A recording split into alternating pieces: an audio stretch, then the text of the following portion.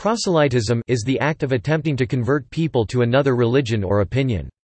The word proselytize is derived from the Greek language prefix pros, pros toward, and the verb erchomai, erchomai to come, in the form of proselytos, proselytos newcomer.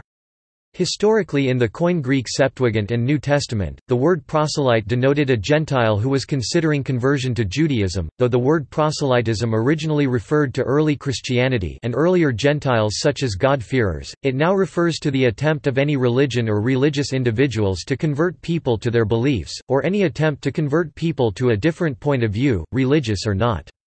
Proselytism is illegal in some countries.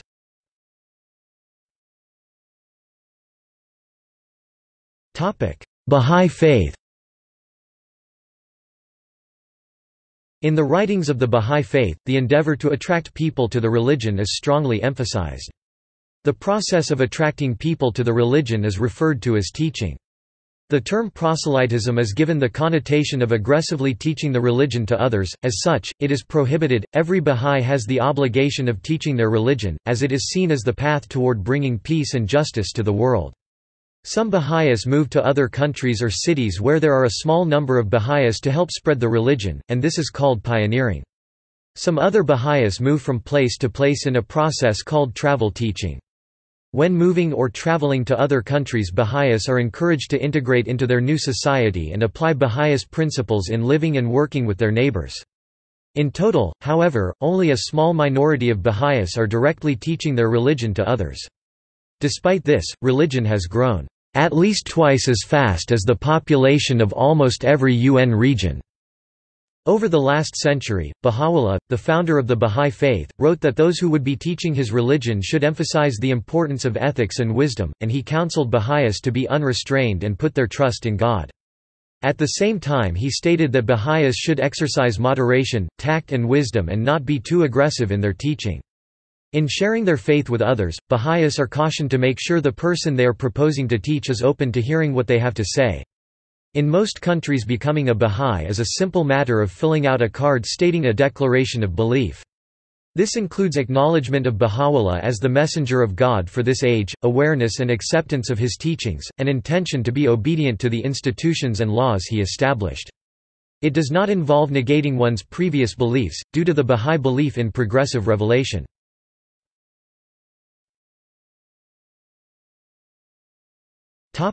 Christianity Many Christians consider it their obligation to follow what is often termed the Great Commission of Jesus, recorded in the final verses of the Gospel of Matthew.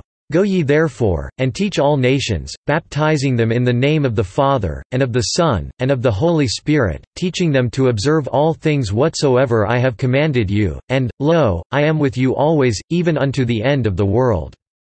Amen. The Acts of the Apostles and other sources contain several accounts of early Christians following this directive by engaging in individual conversations and mass sermons to spread the good news. Evangelical Christians often use the term witnessing to mean discussing one's faith with another person with the intent of proselytism.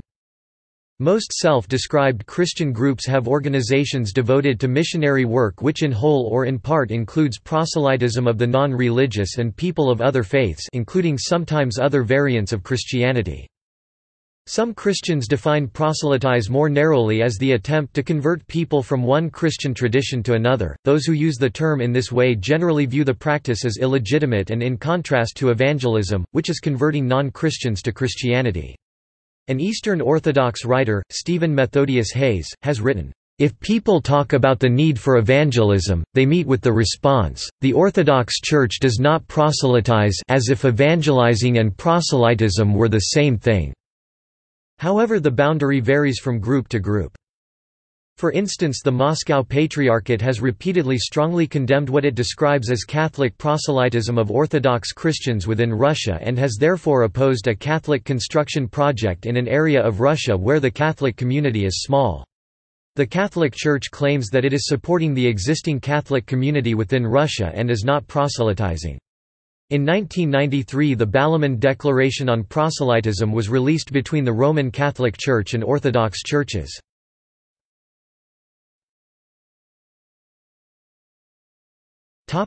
Indian religions. Proselytization is not alien to Indian religions such as Hinduism, Buddhism, Jainism and Sikhism although they are largely pluralistic.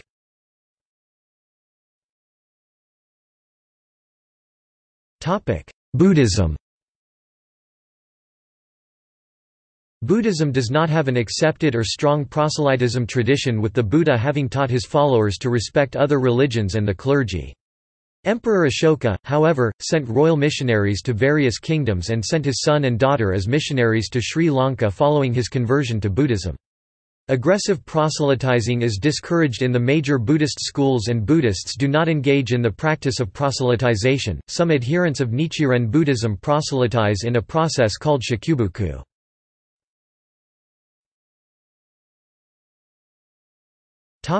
Hinduism Hinduism lacks a proselytism tradition. Classical Hinduism represents diversity of views and theology. Its followers are free to follow any theistic, non-theistic or other ideas it discusses. Followers can pick or change to any philosophy or belief he or she fancies and worship any personal god or goddess in a manner they deem fit. In the modern era, religious conversion from and to Hinduism has been a controversial subject. Some state the concept of missionary activity and proselytism is anathema to the precepts of Hinduism, while proselytism is not a part of the Hindu tradition. Religious conversion to various traditions within Hinduism, such as Vaishnavism, Shaivism, and Shaktism, has a long history. The debate on proselytization and religious conversion between Christianity, Islam, and Hinduism is more recent, and started in the 19th century. Religious leaders of some Hindu reform movements such as the Arya Samaj launched Shuddhi movement to proselytize and reconvert Muslims and Christians back to Hinduism, while those such as the Brahmo Samaj suggested Hinduism to be a non-missionary religion. All these sects of Hinduism have welcomed new members to their group, while other leaders of Hinduism's diverse schools have stated that given the intensive proselytization activities from missionary Islam and Christianity, this, "...there is no such thing as proselytism in Hinduism." View must be re-examined.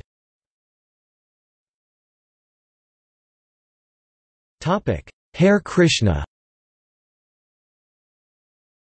One group that takes in willing converts in Hinduism is the International Society for Krishna Consciousness also known as Hare Krishnas.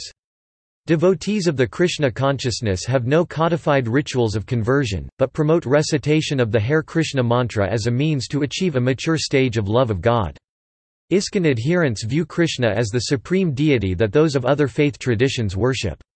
A commonly accepted notion among Krishna consciousness devotees is that ISKCON allows one to recognize the primacy of the supreme deity, Krishna, in the practices and traditions of other faiths. Krishna consciousness promotes the concept of Sanatana Dharma Hinduism, the eternal law that other faiths can uncover.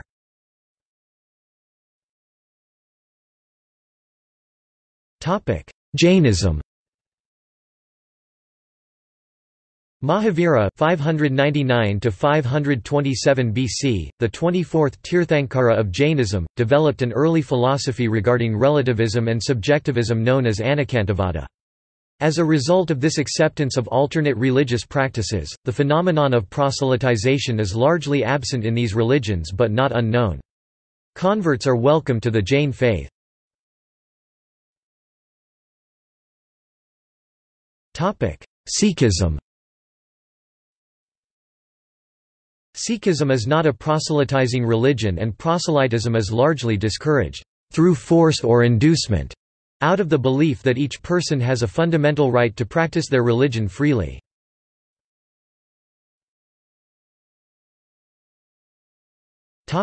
Islam In Islam, inviting people to the religion is a meritorious activity. The Quran states, there is no permission to force anyone into following this way of life. The truth stands clear from error. Whoever rejects falsehood and believes in Allah has grasped a firm handhold that will never break, for Allah hears and knows all things. Al-Baqarah, the cow, 2-256. Muslim scholars consider this passage to mean that force is not to be used to convert someone to Islam. Muslims consider inviting others to Islam to be the mission originally carried out by the prophets of Allah and is now a collective duty of Muslims. In the Quran Allah states, invite others to the way of your Lord with wisdom and beautiful preaching, and reason with them in ways that are best. Your Lord knows best who is straying from his path and who is being guided towards it. An-Nahl the Bee, 16-125.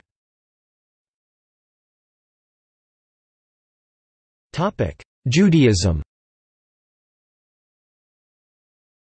Unlike in the Hellenistic era Second Temple Judaism, in the modern era Judaism generally does not proselytize non-Jews. Instead, non-Jews are encouraged to follow Noahide law, assuring a place in the world to come.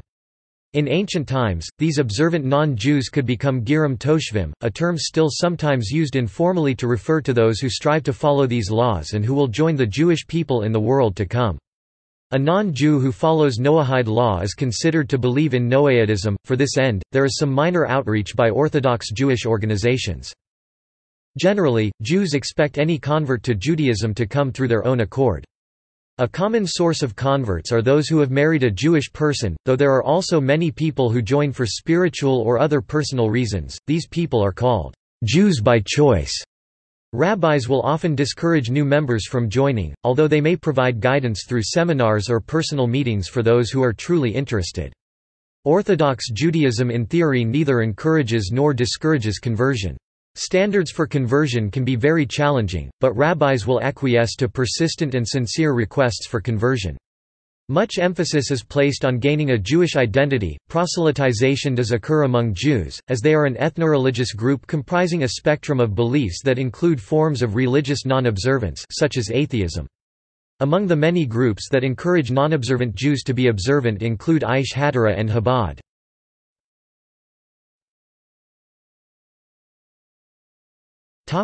Inherited membership Sects of some religions, such as the Druze and Zoroastrians, do not accept converts at all.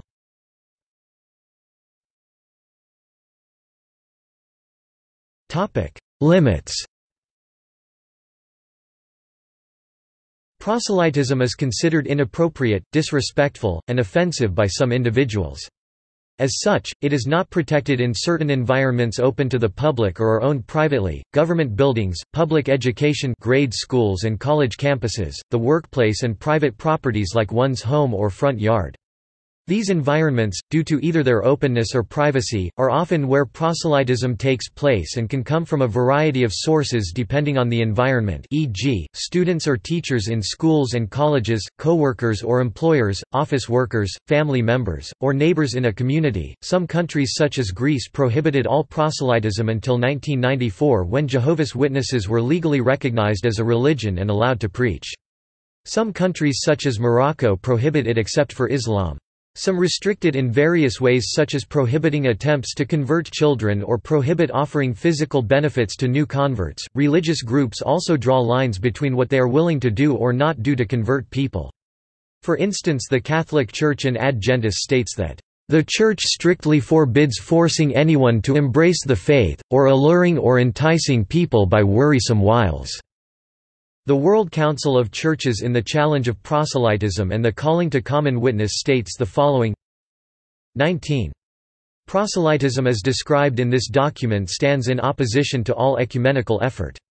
It includes certain activities which often aim at having people change their church affiliation and which we believe must be avoided, such as the following Making unjust or uncharitable references to other churches' beliefs and practices and even ridiculing them, Comparing two Christian communities by emphasizing the achievements and ideals of one, and the weaknesses and practical problems of the other. Employing any kind of physical violence, moral compulsion and psychological pressure e.g. the use of certain advertising techniques in mass media that might bring undue pressure on readers, viewers. Using political, social and economic power as a means of winning new members for one's own church. Extending explicit or implicit offers of education, health care or material inducements or using financial resources with the intent of making converts. Manipulative attitudes and practices that exploit people's needs, weaknesses or lack of education especially in situations of distress, and fail to respect their freedom and human dignity.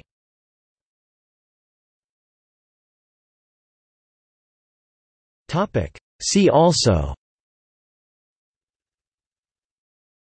Fate of the unlearned Lists of proselytes Religious conversion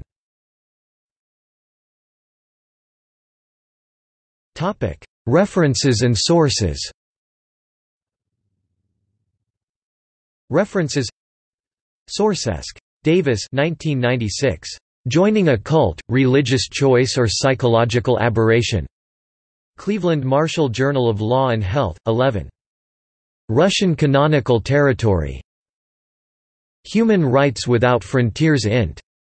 European Court Final Judgments on Religious Freedom Issues 1964–2001. Archived from the original on 20 June 2006. Van Biema, David the 3rd of October 2008. YouTube Gets Religion. Time.com. Rabbi Asher Meza's Jewish Outreach Organization. BeJewish.org. Yahya Emerick. The Holy Quran in Today's English, ISBN 978-1451506914.